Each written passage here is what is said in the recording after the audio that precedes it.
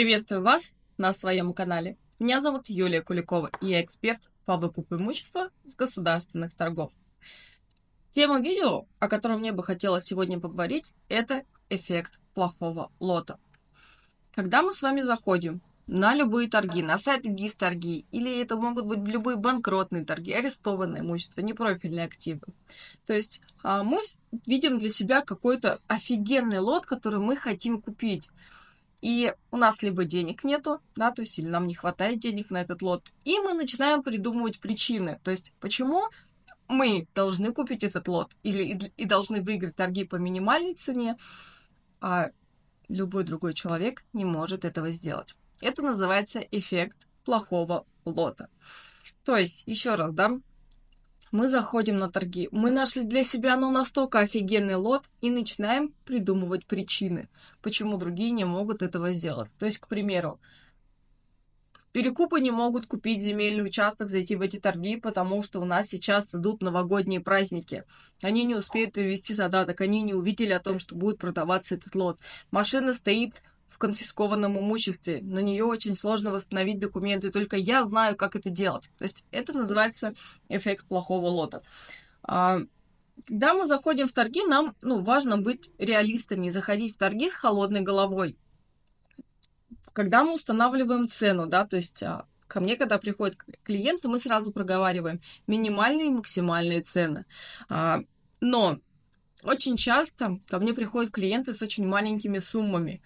И по большей части эффект плохого лота, вот эти возражения, то есть минусы лота, я слышу от них намного чаще. И чтобы не тратить ни ваше время, ни мое время, когда вы хотите купить какой-либо дешевый лот, сначала проанализируйте, во-первых, свои финансы. Узнайте рыночную стоимость имущества, за сколько его реально можно забрать по минимальной и максимальной цене. И только после этого уже обращайтесь к специалистам для участия в торгах. Но если все же вам очень хочется, очень хочется попробовать поучаствовать, то я рекомендую вам приобрести электронно-цифровую подпись и заходить в торги и участвовать в торгах от своего имени. В этом случае вы закроете свои возражения уже на своем опыте и не будете тратить чужое время. Для того, чтобы а, сказать и показать вам, мне, вот, я, мне бы хотелось показать вам непосредственно статистику по торгам, которая у нас есть. Ну, для того, чтобы вы понимали, что конкуренция, в принципе, она как бы есть.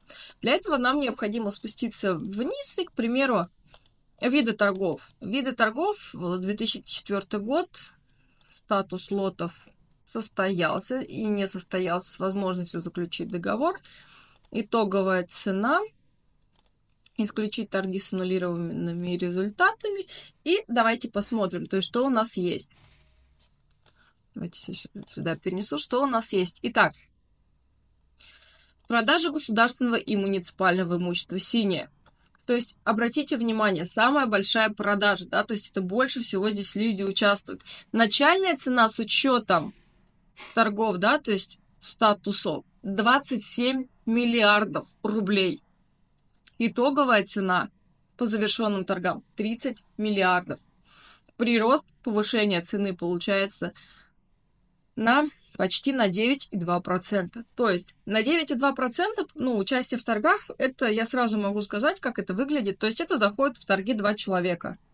Один делает ставку, другой делает ставку, подтверждая цену на 5%, да, то есть, ну, это мы так создаем конкуренцию для себя. То есть, когда нам нужно показать, что у нас заходили в торги, участвовали именно два и более участников.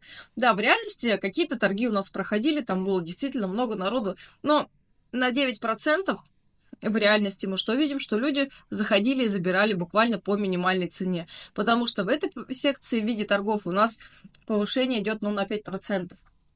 То есть, получается, буквально делали один шаг. Дальше. Аренда и продажа земельных участков. Зеленая. То есть, как мы видим, люди повыш... покупают. И здесь самая большая конкуренция вот, ну, на текущий момент по сравнению с продажей. То есть, что мы здесь видим? У нас начальная цена с учетом торгов на 2,62 миллиарда.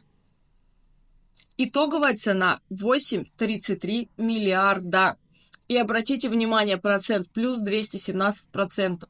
То есть люди землей интересуются больше всего, заходят ее и покупают в этот раздел. И как вы видите, здесь идет активная борьба, то есть здесь есть конкуренция. Поэтому если вы хотите купить хороший земельный участок, то не нужно придумывать причины, почему другие не хотят купить этот участок. Далее. Аренда, безвозмездное пользование тоже интересная категория, но не все на самом деле видят мне какую-то перспективу сильно большую. То есть здесь обратите внимание, то есть у нас плюс 69%, в принципе, тоже идут неплохие торги. Обращенное имущество. Обращенное имущество плюс 146%. Итоговое повышение также есть. Участки недр я с ними не работаю, хотя обратите внимание, тут тоже как бы безумное вообще количество человек. Реализация имущества должников процент 23% прирост. Могу предположить, что здесь заходит по большей части у нас два человека ну, два человека, я имею в виду для участия в торгах, два человека искусственно поднимают цену. Комплексное развитие территории, это многоквартирники у нас 359%, самая большая, то есть застройщики землю покупают для строительства многоквартирников. И все прочее имущество 139%. То есть получается, если мы все это посмотрим, самая маленькая у нас идет, самая маленькая конкуренция это приватизация муниципального имущества. Почему в земельных участках у нас идет безумно большая конкуренция, да, то есть я могу предположить просто потому, что у нас начальная цена от аренды идет. То есть по большей части мы продаем от аренды. Если бы шла бы она сразу в собственность, то у нас статистика была вот примерно бы такая же, да, потому что начальная цена в собственность, но она не сильно интересна. А через аренду, ну, люди, конечно, хотят очень дешево купить, тем более у нас, ну, настолько безумно раздули все это, этот момент, что выкуп за 3% от кадастровой стоимости. Я надеюсь, данное видео было вам полезным. Вы получили для себя какую-то нужную для вас информацию. Безумно рада, что подписчики на моем канале прибавляются, просмотры увеличиваются. Вы можете писать тема нашего следующего а, видео да, ну, в комментариях под этим видео. И самые интересные видео я буду, конечно же, для вас записывать. Самые интересные вопросы я буду для вас записывать, потому что мне кажется, что здесь ну, вот уже настолько все легко в муниципальных торгах, но разбираться с ними, я понимаю, что это очень-очень сложно. Поэтому, какие у вас сложности возникли, пишите в комментариях, и я запишу для вас следующее видео. До встречи в эфирах.